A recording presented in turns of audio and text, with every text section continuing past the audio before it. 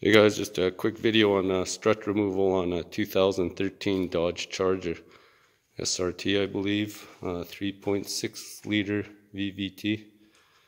Uh, if this is your model, um, showing you strut removal. I already have this side out, driver's passengers or driver's side out.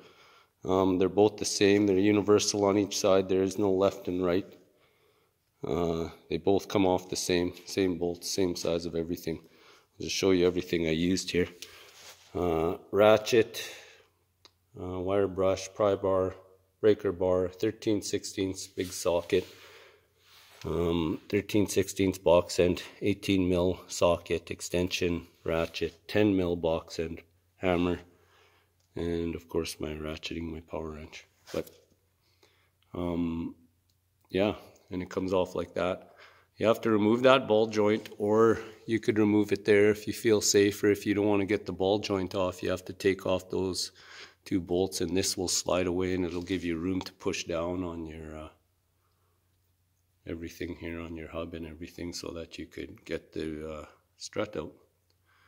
But I just take off the ball joint. If you don't feel safe, again, like I said about taking off the ball joint, take it off up there and it comes off you're to have to take off this or unless you take a box end and get it in there and take that off. Those are 18 mils, I believe, and then there's one back here somewhere.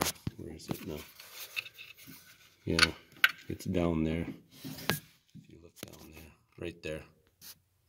Get a box end in there. You remove those two bolts and that'll just slide right out once you get those bolts out, as you could see, it's got the two bolt pieces, the nuts, I mean, on the other side. If you take the two nuts off on the other side, this will slide out.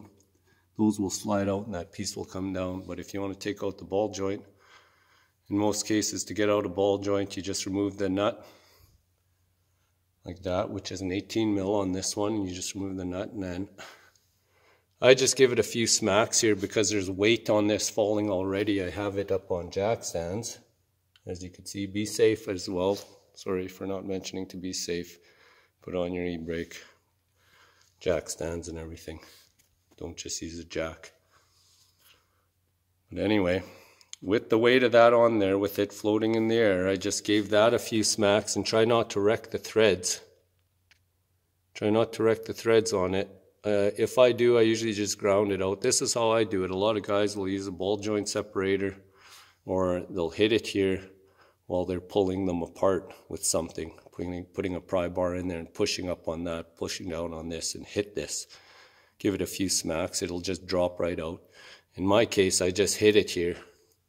I don't smack it too hard, I just give it a few hits and it'll come out, usually most of the time. Sometimes it's hard, sometimes it's easy. But in this case, it was pretty easy. I didn't wreck no threads or nothing. And that's how I do it. But anyway, this is everything I used. And I'll show you on the other side, there's one bolt there and one bolt there. That's this one right here. And on one side, it's an 18 mil. Oh no, not that's not the bolt. That that bolt's for something else. Or no, that is the bolt, sorry. That's the bolt that goes on there. I'll show you on the other side. It just goes through like that. And that's an 18 mil. As you can see, the nut is welded onto the strut itself. And I'll go to the other side and show you how I did that. So, top ones are 13 mil. There's three of them. There's a little cap that's on there. It sits like that. You just pop that off 13 mils. Those come off last. Don't take those off till last.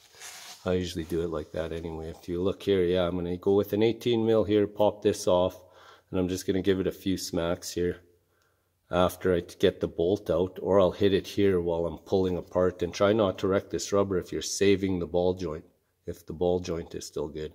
Or like I said, you take it off up there and there, and this whole piece will slide right out and this will drop down allowing you to get the strut out. But anyway, you take off the uh, sway bar link bolt, which is right there, which is a 13 16ths or a 19, I believe, and then a 10 mil end on it. And you need two box ends to get that. I broke it with the socket first just to get it loose.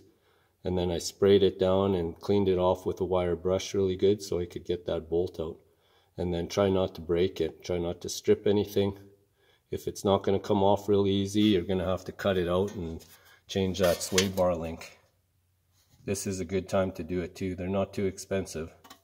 Change the sway bar link and the bushing right there on your sway bar. Smart to do that if you're doing your struts. But in this case, I'm saving them because they're still good, so I'm able to get off my nut and bolt, my bolt there, my nut, I mean, and then uh, it comes off. I usually get them off pretty easy. And once you get that off, you go after that, which is an 18 mil. Like I said, the nut on the other side, on the other side over here, is welded onto the strut itself, so you just have to take it off here. Again, spray it down with lubric lubricant and uh, clean it off a bit and then take an 18 mil here turns left to loose and then pull that bolt right out and then this whole piece will loosen up your strut will be loose there once you get that out and pull it out and drop it down your strut will be hanging there. You take off your 13 mils and your strut will pop out. You'll just have to push down on this to separate those two to separate it from here to here. You just push down on this and then your strut will and you'll move it to the side to your to, your, to the rear or to the back here and then remove those bolts and your strut will pop out and then you put it back in reverse. Same thing as you did. That's on a 2013 Dodge Charger. Thanks for watching. Like and subscribe